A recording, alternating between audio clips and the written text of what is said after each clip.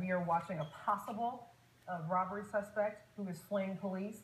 Police have been chasing this car for a few minutes now. They followed them, this person or this driver, uh, onto the highway, off LBJ, onto Forest, and now onto Abrams. Again, very rapid chase here with police in pursuit.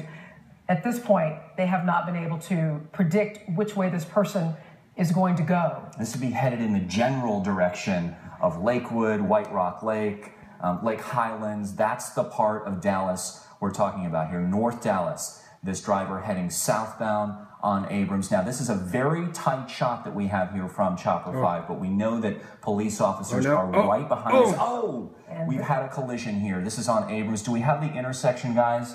And, Do we and know? the driver's getting out. Getting out. Oh no. Oh, no. Oh no. And that's Very angry confrontation oh. here with the driver who was just hit. and another person in the other car got out, and they had they seem to have that driver, the fleeing driver. They're holding on to him. Let's watch what happens here. We know police Oh, are not far away. Okay, guys, we are watching, Here come the police.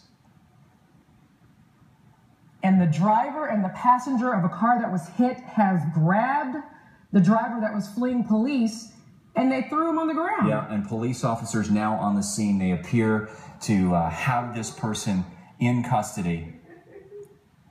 My goodness. Thankfully, it appears from this view that no one is seriously injured, but this was uh, this was definitely a serious collision as that fleeing driver, the driver that officers were chasing, rear-ended that silver minivan there. And then in a, something I don't think I've ever seen before, the uh, driver and the passenger of that minivan got out of the car and stopped the person who was fleeing from police. Very angry. They grabbed They this grabbed guy. They were not going to let this